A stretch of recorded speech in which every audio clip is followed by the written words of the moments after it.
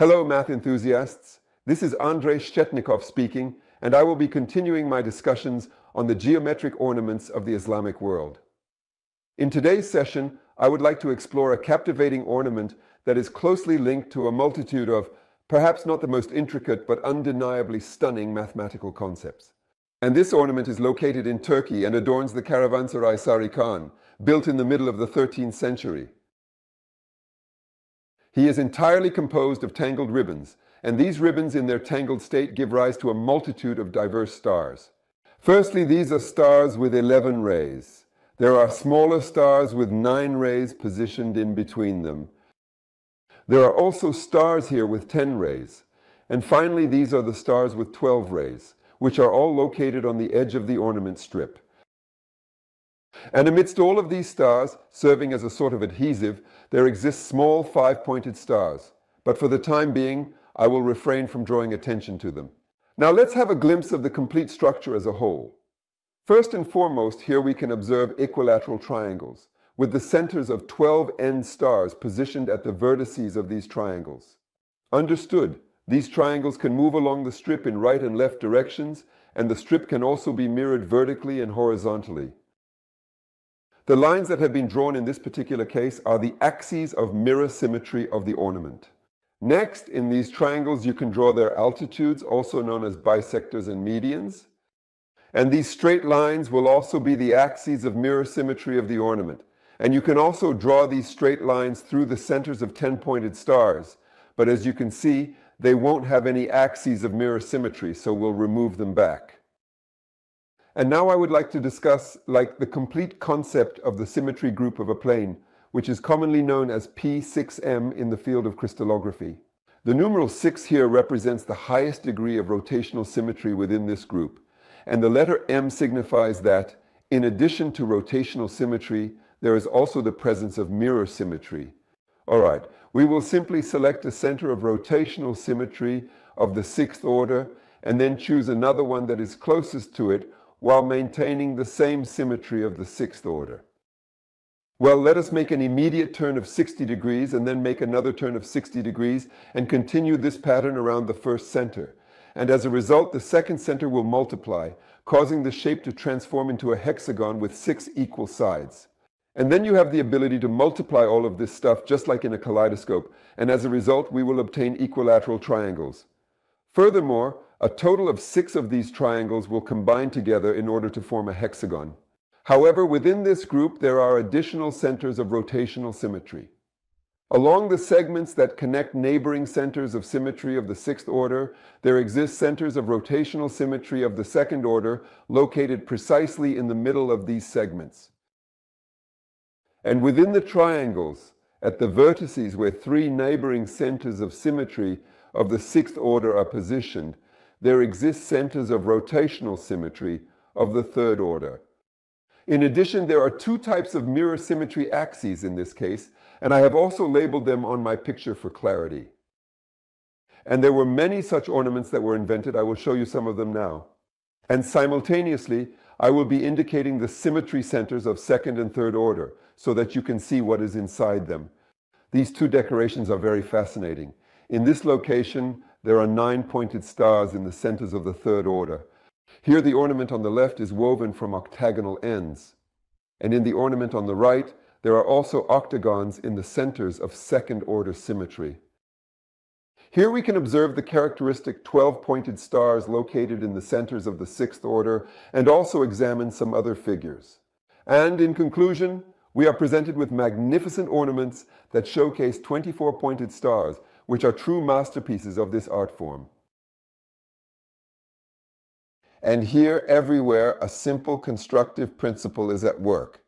In the centers of symmetry of the sixth order, there will be six-pointed stars or hexagons, 12-pointed stars, and 24-pointed stars.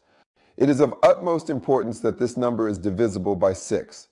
In symmetry centers of the third order, you can discover triangles, hexagons, or stars with six points, nonagons, or stars with nine points on them. In this particular case, it is of utmost importance that the corresponding number is divisible by 3. Finally, in the centers of second-order symmetry, if there happen to be some symmetric figures placed there, they have the ability to exhibit fourth order symmetry. Basically sixth, but we don't come across that. But the eighth one is very distinctive when octagons or eight-pointed stars are placed here. And in this sense, in our beautiful ornament, the blue 12-pointed, green 9-pointed, and red 10-pointed stars stand in their designated places with the sixth, third, and second order of symmetry, respectively. And here the pink 11-pointed stars with this originally prescribed order are not connected in any way. That's what makes them particularly interesting, and I will now delve into them. And at this moment, I am going to commence the grand design of the future ornament. I'm going to draw an equilateral triangle. I'm going to inform you that the centers of 12 N stars will be located at its vertices. Let's indicate this. Now let's sketch lines passing through the center of the triangle to divide it into segments. And let's assume that in the middle there will be a nine-pointed star. The number nine can be divided evenly by three. In the center of each side of the triangle there will be stars with 10 points, positioned equidistantly from one another. 10 is divisible by 2, which is a positive attribute. Additionally, 10 holds significance as a number that falls between 9 and 12. And we express optimism that favorable circumstances will occur in this situation. However, we still have empty spaces between the stars. Furthermore, I also have the desire to add some additional stars in that particular area. And I will inform you of this. In this location, there is a star with 10 points. I will divide the arc into 10 equal parts. And I will send a segment that is specifically designed to cut off a total of 2 tenths from the length of this arc, thereby reducing its overall measurement. It appears that he is crossing the median of the large triangle in a favorable location. And you have to ask yourself which star naturally belongs in this position.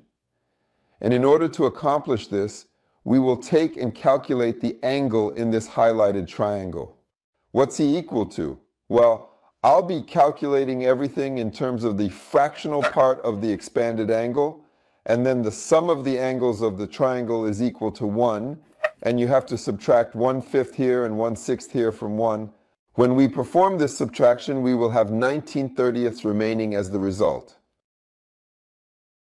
And naturally, you have the option to divide this arc into 30 sections and place 30 small stars in this area. However, it is evident that it will be extremely small and lacking harmony. So now comes the most interesting part of this video. We are going to dive into some fancy calculations and the algorithm of Euclid and continuous fractions will come to our rescue. And we will take the fraction 19 thirtieths and commence breaking it down into a continuous fraction in this manner. The 1930s is one out of a total of 30 19ths in the denominator. That is, in the denominator you write 1 plus 11 19ths. The subsequent step, scheduled for 11 19ths, involves calculating 1 over 19 elevenths. So it turns out we have 1 plus 8 11 in the denominator, and the next steps are exactly the same. 1 plus 3 eighths and in this location, I will have 2 and 2 thirds. And in this location will be 1 plus 1 half. And the process of breaking down into smaller parts is complete. There is no other place to go. And at this moment, we are going to grab and discard this second, throwing it away without hesitation. With her, everything would have reverted back to the 1930s. Let's observe what occurs in her absence. Well, you see, here we have 2 plus 1, which is 3, 1 plus 1 third, 1 plus 1 third is 4 thirds, so here it's worth 3 fourths. 1 plus 3 quarters is equivalent to 7 quarters, so we write down 4 sevenths in this case. And lastly, 1 plus 4 sevenths is equal to 11 sevenths. And ultimately, we ended up with a fraction of 7 elevenths. How different is it from the original fraction we started with? We need to subtract 19.30 from it and see what we get when we bring it to a common denominator and it transpires that the final result is equal to 1.130. The difference between these two fractions is truly insignificant, and since we all measure in terms of fractions of a full angle, this disparity is almost exactly half of one degree, making it an extremely minute variation in the overall measurement. At present, we have the knowledge that the points discovered in our ornament will definitely appear as stars with a total of 11 points, and we will construct the entire project in this manner. Let the nine-pointed star positioned in the center of the triangle observe the ten-pointed stars using its rays of light and maintain visual contact with them. Then she will be gazing at the 11 pointed stars in the midst of the rays. And she will let the 11 pointed stars also gaze at her intermittently in the midst of the rays of light and appreciate their beauty. However, it is subsequently revealed that 11 pointed stars are observing 12 pointed stars using their rays, and in turn, 12 pointed stars are also observing them using their rays. As a result, these 12-pointed stars will observe 10-pointed stars using their rays. We have a project plan in place, and now it's time to get down to the nitty-gritty of actually building it, which I will also explain now. Constructing this ornament, like many others, is convenient to do by relying on the auxiliary tiling of the plane surface.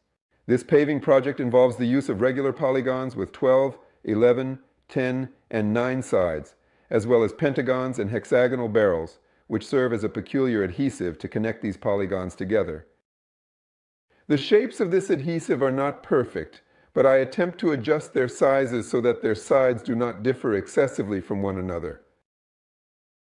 On the next step, I fill in the correct polygons with stars, connect the midpoints of the sides of the pentagons with segments to create five-pointed stars in them, and embed the shapes inside barrels selecting solutions for the polygonal stars so that the segments in this construction continue each other as much as possible. At this moment, I am tracing the segments inside the base triangle using thick broken lines at 30, 60 degree angles.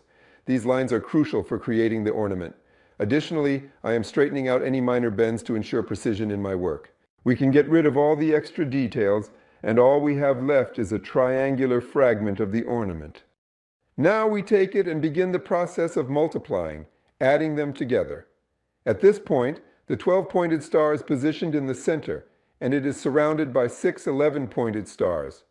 Additionally, the 10-pointed stars are located on the sides of the resulting hexagon, while the 9-pointed stars are situated at its vertices. Lastly, we can try to weave this ornament with ribbons to bring it to perfection, adding an elegant touch and enhancing its aesthetic appeal for a truly exquisite final result.